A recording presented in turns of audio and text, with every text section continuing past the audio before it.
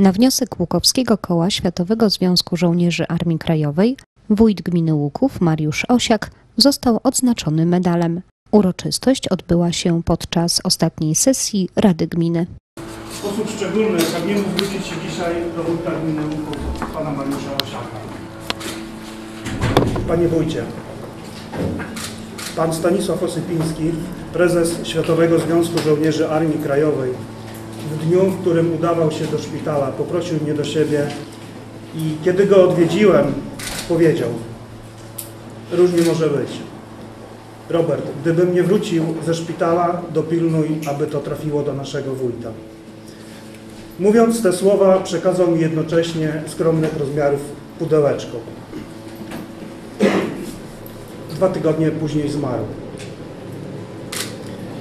Gdy jeszcze dzień wcześniej rozmawialiśmy, w jaki sposób mam wywiązać się z powierzonego mi zadania, usłyszałem z ust pana Stanisława, nasz wójt to dobry chłop. Zasłużył sobie na to wyróżnienie. Janek, Rysiek pomogą Ci, aby godnie to wyglądało. Janek to pan Jan Dębski, skarbnik Światowego Związku Żołnierzy Armii Krajowej, który przed kilkoma dniami zmarł. Rysiek to obecny wśród nas sekretarz Światowego Związku Żołnierzy Armii Krajowej koło Wukowie. I jeszcze we trzech, niespełna dwa tygodnie temu, umawialiśmy się na to dzisiejsze spotkanie. Niestety, wola Boża była inna. Pana Janka wśród nas dzisiaj nie ma. Panie wójcie, chciałbym, aby pan wiedział, że pan Stanisław zawsze mówił o panu nasz wójt. I zawsze z najwyższym szacunkiem, uznaniem i wielką wdzięcznością za to wszystko, co w ostatnich latach przy pana wielkim wsparciu i zaangażowaniu zostało zrobione dla przywracania pamięci o czynach, ale również o ofiarach poniesionych przez żołnierzy Armii Krajowej.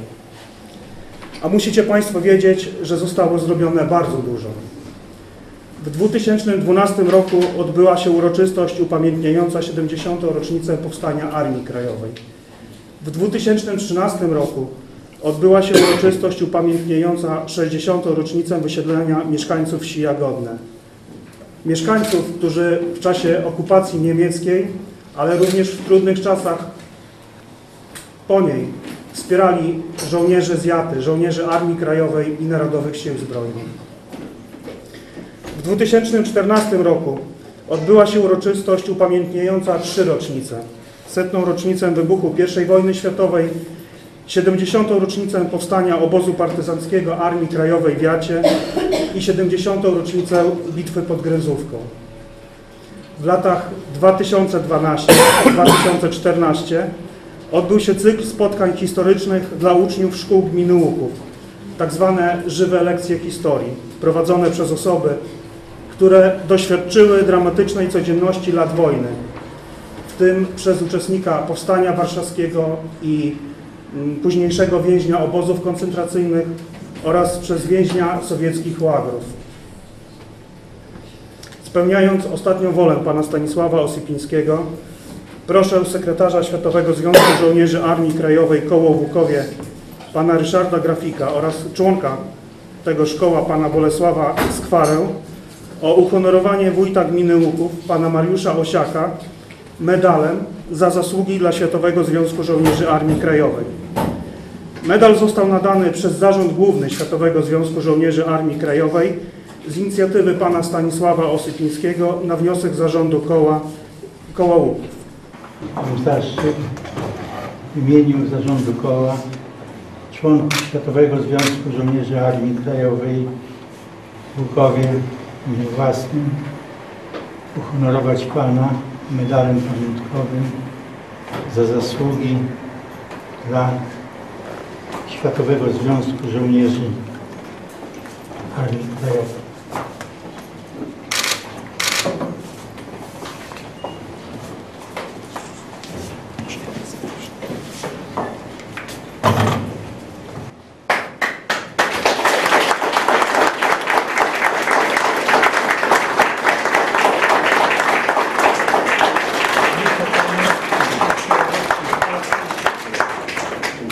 Propagowaniu i umacnianiu pamięci historycznej, ponieważ pokolenie, które walczyło o niepodległość Polski, odchodzi.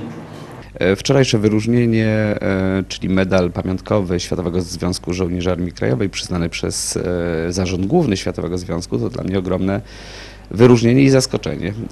E, Faktem jest, że mm, bardzo wiele ciekawych przedsięwzięć zrealizowaliśmy wraz z, Kołem Łuków Światowego Związku Żołnierzy Armii Krajowej, ale chciałbym powiedzieć jedną rzecz. Ten medal odebrałem ja i został przyznany mi, co jest wpisane w, legityma- w legitymacji, natomiast e, ten medal jest dedykowany wszystkim osobom, które były zaangażowane. Tu jest naprawdę dużo osób i nie chciałbym wymieniać nawet nazwisk, żeby kogoś nie pomylić. E, Chciałbym tylko wspomnieć o Robercie Wysokińskim, o Kasi Kuć, o tych osobach, o pani e, Elżbiecie Dynek, radnej m, Rady Gminy, która angażowała się w wiele przedsięwzięć i oprócz tego cała masa ludzi. Także to odznaczenie zostało przyznane przez Związek Gmin, natomiast e, tak jak powiedziałem, na to odznaczenie zasługuje wiele, wiele innych osób i to one pracowały nad. Co do zasady, no wczoraj troszeczkę się wzruszyłem tym wszystkim.